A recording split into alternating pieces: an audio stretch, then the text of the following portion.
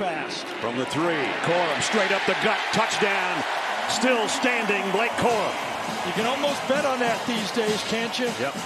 If you run a successful play down to the two or three yard line, these teams will go fast, not allow that defense to substitute. Hit any better than that. 80 yards in nine plays in four and a half minutes. Blake Corum straight ahead. Touchdown, Michigan. Not as pretty, but just as effective.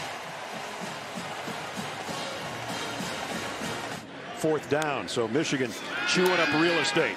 McCarthy down the middle. Roman Wilson, touchdown, Wolverines. Just follow your big guy. You're number two in the trips. A little bit choked up talking to us yesterday about losing his buddy. And pressures, he throws and completes it on the run. Roman Wilson down the sideline. Just like that. With 47 on one hand, he rifles it to his favorite target with the other, and a 47-yard touchdown. A 47-yard touchdown. Unbelievable. Think about it. The efficiency of the play. It's a simple play, but J.J. buys time in the pocket, not in a hurry to run, and then just doesn't rifle it. He pinpoints it. Allows his receiver again to run with the ball after the catch. Corum back in there now after a 27-yard end around, and they'll give him the carry, and they'll give him the end zone.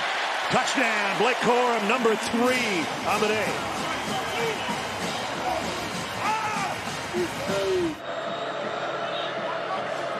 Another blitz coming.